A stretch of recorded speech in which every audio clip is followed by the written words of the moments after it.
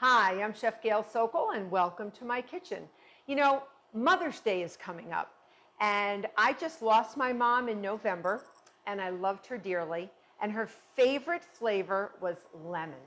So as my gift to my mom in her memory and to you, I want to give you a wonderful lemon cream pie recipe that's outrageously good, made with a lemon curd filling in a sugar cookie crust and topped with lots of whipped cream. So before we get started, I want you to click that notification button because I want you to become a subscriber and I want you to see all my videos and all my tips because you will learn so much. And I love having you in my kitchen. All right, are you ready? We're going to start our curd and we're going to stabilize it. Now, yes, if you've watched many of my videos, I've made a lot of curd recipes. Curd is a stovetop custard. We're going to make it on the stove. But this is going to be a little different. I've made curds with just egg yolks. I've made curds with whole eggs. And now we're going to use both. We're going to use three yolks and three whole eggs. And we're going to stabilize it with gelatin. So we get a nice clean slice when we cut in that beautiful pie. So the first thing I'm going to do is take one teaspoon of unflavored gelatin, and that's powdered gelatin. And you have to bloom your gelatin. You can't just put it in your ingredients like this because it will taste grainy. So I'm going to add two tablespoons of cold water. And the water needs to be cold because otherwise the gelatin will become gummy and it really needs to go into a cold liquid. Any type of a cold liquid. It can be milk, could be any part of the uh, ingredients for the recipe, but I'm gonna put this in here and it's gonna bloom. It's gonna soften those crystals so that they're not so crunchy like sand. And we're gonna put it on the side. And we're gonna add it into our curd. It's gonna melt into our curd. And then when it chills, it's going to become a nice beautifully stabilized, firmer uh, curd. All right, so I have a pot of about one inch of water boiling, and I'm going to reduce that now in a Pyrex. This is heat proof. It's got to be a heat proof bowl, and you don't want a metallic bowl. You want stainless steel will work, but sometimes people get a metallic taste when they use lemon juice or any acidic fruit in their curds, and that's because they have used a metallic bowl. So this is a non-reactive bowl. That's the key, Pyrex. So, and it's also heat proof because we're putting it over the heat. So I have in here one cup of granulated sugar into my bowl. And right now I have three quarters of a cup of fresh lemon juice. And here they go, three eggs, whole eggs, and three egg yolks. All right, I'm just going to put those in there. And I'm going to whisk that up. Just break down your yolks a little. And I do have an, a thermometer. So I need my thermometer to go up to 160 degrees Fahrenheit. 160 degrees is the kill point of salmonella. And that's what we don't want to get from raw eggs. So we're going to cook this and I've never made a curd using a thermometer, so there's different ways to do it. So this is just yet a different way that has been developed that I have sort of nurtured over the years and, and made. All right, so we're going to take this mixture and we're going to put it over our heat. We're going to lower it down so it's simmering, so it's not quite boiling, but it's simmering. And I'm going to stay here and then I'm going to put my thermometer in, and this is all going to get nice and thick. And no, I have not forgotten about my gelatin, but look at it. Do you see my gelatin? Look at it. Woo! Remember how liquidy it was before? Not anymore. It has gelled. It has what we call bloomed. And it is ready to be added to our liquid uh, hot liquid ingredient, which will be our curd once it's done. So I'm going to wait till this gets to 160 degrees Fahrenheit, and I'm going to check this periodically with my thermometer. It should take about 10 minutes. I'll see you back when it's thick. So my curd has reached 160. Remember, this is a custard, uh, and the egg yolks and eggs are thickening agents. So I'm going to take my thermometer out. I'm going to shut this off, and now I'm going to take it off the heat. It is hot. I need hot mitts. So I'm going to go get my hot mitts this is one hot baby. All right. And I'm going to take it off. I'm going to put it on here briefly. Now, before I, I'm going to pour it into an ice water bath. But first, I'm going to add my gelatin. And because it's so hot, look how it's like a jellyfish. So I'm going to mix that in until that is melted. This will thicken more in the refrigerator. I'm going to put it in an ice water bath through a sieve just in case. That's my insurance, just in case there was a little, a little uh, coagulated egg that curdled a little bit, and that happens. Half a stick of butter cut into cubes. We're going to put that in there. That's for richness and flavor. And once that is melted, that's a gorgeous lemon curd. That's going to make a fabulous filling for our lovely lemon cream pie. But because I really don't like any lumps or curdled egg, I am going to put it through the sieve into this ice water bath. Obviously, there's ice and water in the bottom bowl. The top bowl is perfectly clean. And this is what I'm going to put in the refrigerator in. All right. So once our butter is melted, you can see it looks lovely. I'm going to pour this through. All right. Ooh, you're luscious. You're luscious put it right through our sieve. All right. Oh, yum. Save that for yourself. You can lick it. Yum, yum, yum. All right. So now we're going to put this through and just use a rubber spatula. You don't want to press on the solids if there are any. And there may be some coagulated egg, and it's quite all right. Happens all the time. All right. Happens all the time. I just got eh, I got a little teeny baby bit. That's it. Sometimes it gets hot, but you uh, do want to make sure that you cook this custard. Beautiful. So I'm gonna, I'm gonna get myself a new spatula. All right, I'm gonna get myself a new spatula because I don't want to touch in here and then touch in my beautiful curd because I don't want to get the lumps and bumps in there. So I'm gonna clean off the bottom so we get everybody in there. And then watch what you do. You're going to take this out of here, okay? And you're going to wipe this dry on the bottom. And our gelatin's in here. See how wiggly? It's sort of wiggly and jiggly, right? But it won't be when it chills. And then you're going to take a piece of plastic wrap and you're going to put it directly on the custard. What? Yeah, directly on the custard because you don't want a skin to form. So put it directly on the custard and then you're going to chill this. You can chill this up to overnight uh, and get everything ready for your pie or your tart because this is sort of a fancy pie. This is really like a lemon cream tart. And because we're going to bake it in a false bottom tart pan. And just like that, you're going to put this in the refrigerator overnight or you could leave this in the ice water bath to really chill out if you need it fast.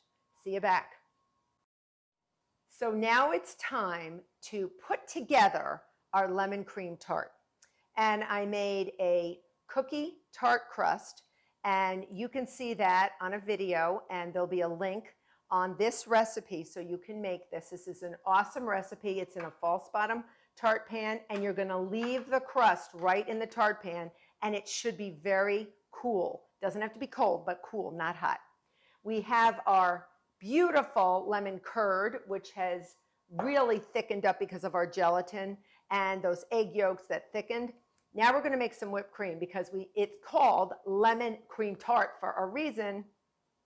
Two cups of cold heavy cream in my electric mixer. I have one teaspoon of pure vanilla extract and trust me, it really makes a difference. Don't leave out that vanilla. It really, really does make a difference. And I have half a cup of confectioner's sugar. I don't like granulated sugar because it can make the whipped cream grainy.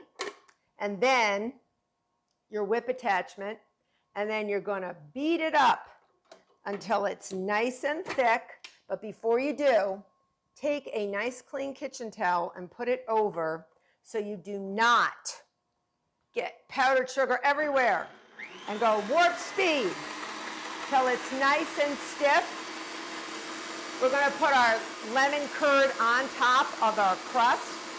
And we're going to top it with our cream and put it on a beautiful serving platter. You're going to lift it up, but I like to put it together in the false bottom tart pan. And then when I'm ready to serve, I'll show you what I do. So this only takes really a few seconds. I'm going to peel off my plastic wrap, and you can see it's lovely. It's lovely, nice and thick and lovely. All right, so I'm going to get that in there. Don't walk away from your whipped cream because you'll end up with butter. A little bit more. Butter, butter, that's how you make butter. You beat the heck out of whipped cream until it's past whipped cream. And then the whey comes out and the little chunks of fat come out and the little chunks of fat are the butter. The top layer of the fat of the cream is butter. All right. Oh, yes. Oh, yes. We are there. We are there. Okay, let me get this off. Lovely. And I always take a rubber spatula and I really beat this pretty stiff on purpose because I want this to stay luscious and light on top of my, my curd. Go around, give it a good go around. And we're going to pile it, pile is the word, we're going to pile it on top of our, our lemon curd. It's going to look lovely and delicious.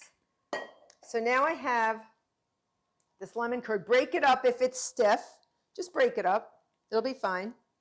And then you're going to get an offset spatula, which I have over here, and you're going to spread it. So we're just going to put it now into our tart, cooled tart, cooled, beautiful cookie tart. I'm telling you, this recipe is used for cream tarts, but they're fancier than pies. It's not, uh, like I said, a pâte brisée, like a pie crust that you would make a fruit pie in. This is like fancier. This is a little fancier, but without all the work.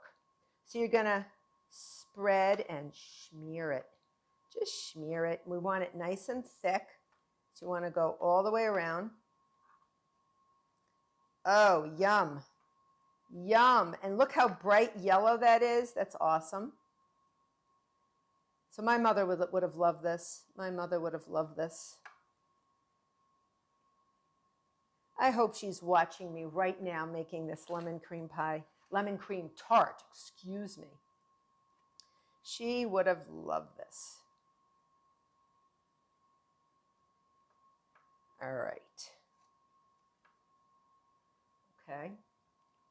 Mm. Yum.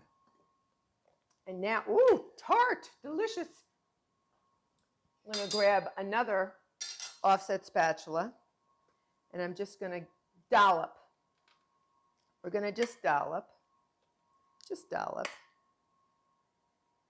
And then we're going to cover. And if you think you have too much whipped cream, you don't, because you never have too much whipped cream. You want it piled high. You want to go all the way around because whipped cream makes the world go round, baby. Yum. Yum. Woo! Okay. So now you take your offset spatula and just sort of put the whipped cream close to the edges. And this is not any old lemon meringue pie. This is a lemon cream tart. This is so different. So different and so, so fancy. Not that lemon meringue pies are bad, they're delicious. But lemon cream cream pie is just a different animal altogether. You know what I mean? All right. So just sort of get that all around. Oh, it looks so good. Oh my goodness. Oh, wow. This looks yummy.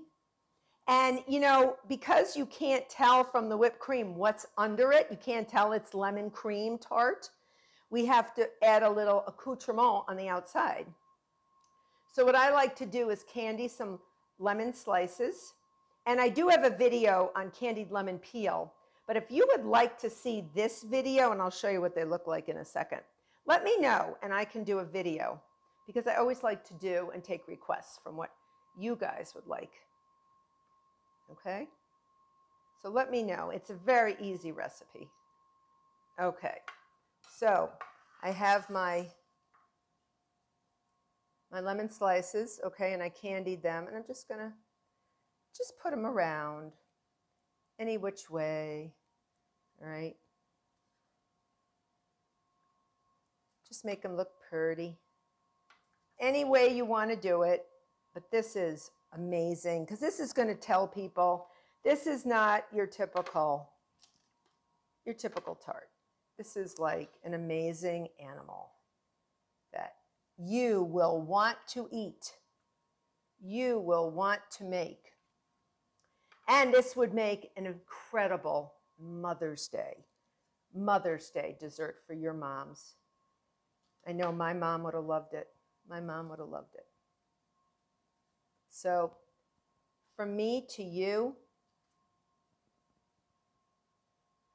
this is from my mom to my mom, and I wish she could be here to eat it. Now I'm going to show you how to take it out. So, I'm going to get a pretty platter. You can get a footed platter, whatever you want to do. And let me go grab a can of beans. Can of beans. So what you're going to do is you can let this just chill like it is, but I'm going to go like this. Isn't that amazing? It's awesome. And then you can leave it on the bottom if you wish and just put it on your platter. And it is delightful. Just slide it on. And there you have it your beautiful, beautiful lemon cream tart for Mother's Day or any day. So I'm hoping that you make this. I'm hoping that you share what my mom and my mom and I used to love together. So I hope you become a subscriber and I hope you make this for Mother's Day or any day. Take care.